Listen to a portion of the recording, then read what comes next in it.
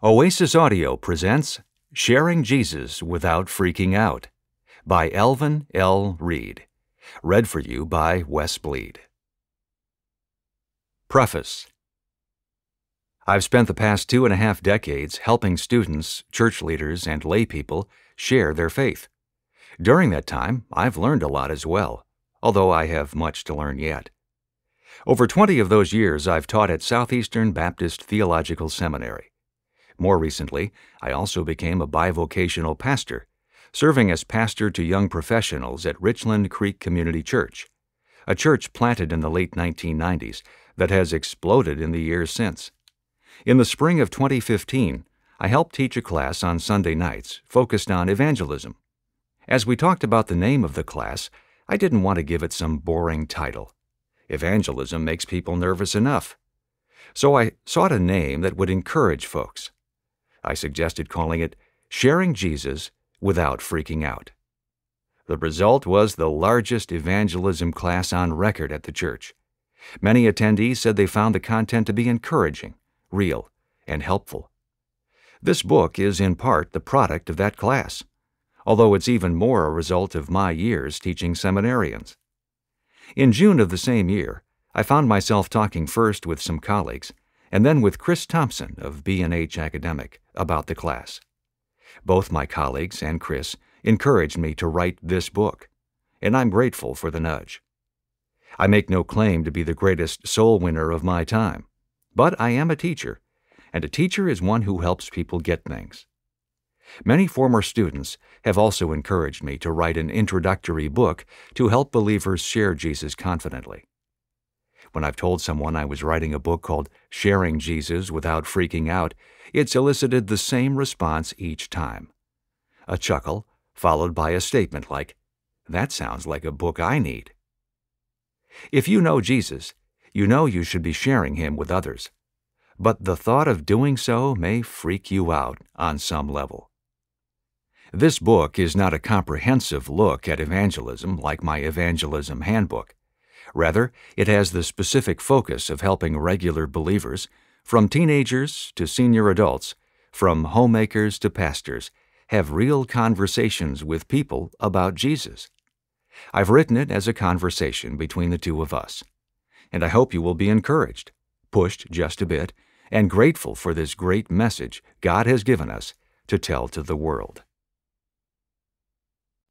Introduction we met Marcy on a Sunday in July when she showed up at our weekly Young Professionals gathering. This is hardly unusual, as new people join us all the time.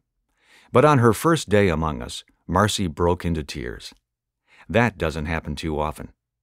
Her sobs grew out of an unsatisfied life marked by pain pain of a broken home and a broken life. But those tears also masked an even greater hunger. Marcy desperately wanted her life to matter. She still believed the gap between the life she currently lived and the life she believed she was born to live could be crossed. She just didn't know how. That's when the reality of the good news of Jesus came alive to her. The gospel soothed her pain and gave her true hope.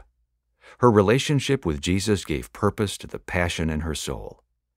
I baptized her later that summer in the lake. We do that annually at our church. That was a few years ago. Today, Marcy is passionately pursuing her career, growing in Christ, and sharing Him faithfully with others. Though she still has much to learn about Scripture and a Christian worldview, the pain Christ erased and the passion she now knows because of Him have changed Marcy forever, and now she actively shares the good news with others. Passion and Pain Everyone you meet lives somewhere between the poles of passion and pain. They just got their dream job, or a new house, were married, or had a baby. Or conversely, they just lost their job, received some bad health news, or are experiencing deep hurt with a family member or friend. Sharing Jesus is as simple as connecting with others around their passion or their pain. It's in our everyday conversations that we can help people see that their life matters, that their passion to live comes from God, and that the good news of Jesus can rescue them from pain. That's what this book is all about unpacking how to share our faith without freaking out. In the following sections, you will hear about principles, eight in all, to help you share Jesus just the way God made you to be. Each principle is related to the others and is aimed at helping you see how God wired you to be you, how to be a living, loving witness without morphing into a person you were never meant to be. You don't have to be a superstar Christian or a clever communicator. You just need to find the intersection of your love for Jesus and your love for the other person. I want to show you how. How to read this book. Every semester in evangelism class, I ask my students to write down one of the following numbers 1, 2, or 3. The numbers represent where they are as a witness. 1 refers to a confident witness who has led people to Christ and trained others. 2 signifies a believer who has shared the gospel more than a few times but has yet to develop a consistent lifestyle of witness. 3 represents a novice someone who either has never been encouraged or trained to share Christ, or is generally too afraid to try. Where would you put yourself on this scale? Maybe a 1.5 or a 2.5. That's okay. If you are a 1, much of this will not be new, but there may be ideas that can help you or push you further in a specific area of your witness. This book can help you mentor or equip another believer or a group. If you are somewhere around a 2, this book will give you a way of thinking about sharing Jesus that you will hopefully find refreshing and quite doable. You will be reminded why we share Christ and given practical ways to develop a lifestyle of witness that fits who God made you to be. If you are a 3, perhaps a new or young believer, don't freak out. Take in all you will read. See the beauty of Jesus and his story in its reality.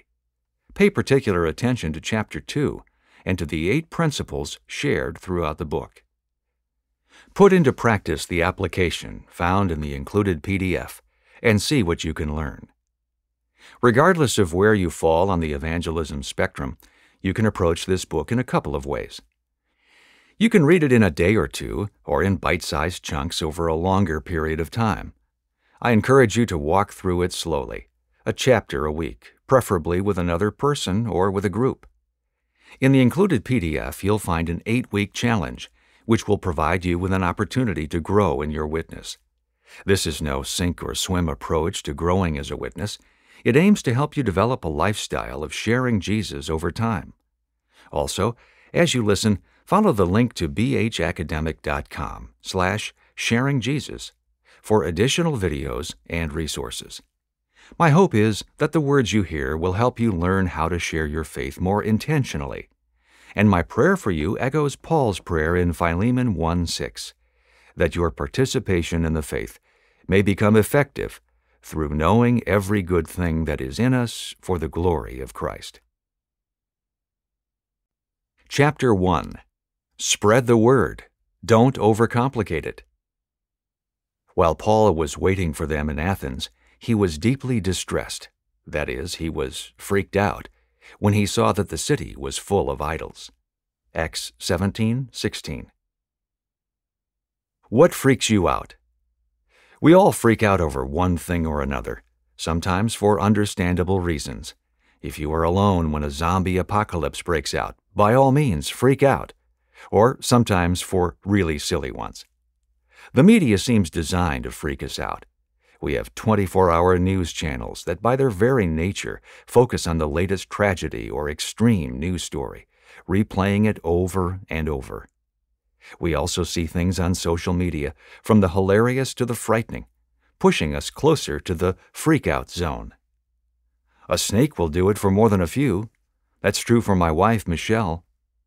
About a year ago, I sat in our living room watching a ball game. Michelle has created a micro deer farm of sorts in our side yard. Deer abound in our neighborhood. Michelle feeds them, talks to them, and names them. She is Snow White. The deer hear her voice, and she calls them by name. On a pretty typical July night, she sat on the tailgate of our old truck watching the deer as I enjoyed my game. Suddenly, my cell phone rang. I looked to see the name flashing on the screen. It was Michelle, just outside. We'd been married more than 35 years, which means you start to figure things out. Like that my wife never calls my cell phone when she is sitting just outside. As teens, our kids texted their friends while sitting in the same room, but we prefer talking to each other. Almost immediately, I surmised why she used the cell rather than walking in to get me. It had to be a snake. I hit the green button. Snake! was about all I heard, so out the door I ran. Sure enough, it was a snake, but not your garden variety, friendly neighborhood black snake. The snake I spotted was most malevolent, a copperhead. The rusty serpent slithered across our driveway, where Michelle saw it below her feet as they dangled off the tailgate. That is, until she saw the snake. Does that picture freak you out? Snakes don't freak me out. I actually like snakes. I've kept a variety as pets. When I saw the pernicious pit viper, my first thought was to pin its head down, pick it up, and show its fangs on a video proudly posting my biblical directive to take dominion on social media. I did mention I have been married over 35 years, right? Since I would like to be married another 30, I forgot the video idea, grabbed a golf club, and smote the serpent. I went Genesis 3:15 on him and crushed his gnarly head. I killed the dragon and rescued the girl. You get the idea. Most people don't like to be freaked out like that. Sure, some of us occasionally like to be freaked out, like teens watching a horror movie. I'm not sure what freaks you out, but if you're a follower of Jesus and really want to be freaked out, picture walking up to someone to boldly tell him about Jesus. You know, like talking to your church loathing coworker, atheist family member, or that neighbor, the one who freaks you out. I've preached or taught in more than 2,000 churches and trained in countless events involving everyone from middle school youth to church leaders. I've spent a lot of time interacting with and talking to Christians, from those who witness consistently to those who share Jesus about as much as they skydive. I'm convinced of this. Most believers today really do love Jesus, really want to talk with him, and yearn to honor him. You want to serve Jesus faithfully and live for him effectively, but you may not always know how. Is it by making bold statements about political issues on social media? Is it by posting online your outrage over the moral decline happening all around us? Is it by separating your life and your family as much as possible from everything and everyone who does? We hope you enjoyed this preview. To continue listening to this audiobook on Google Play Books, use the link in the video description.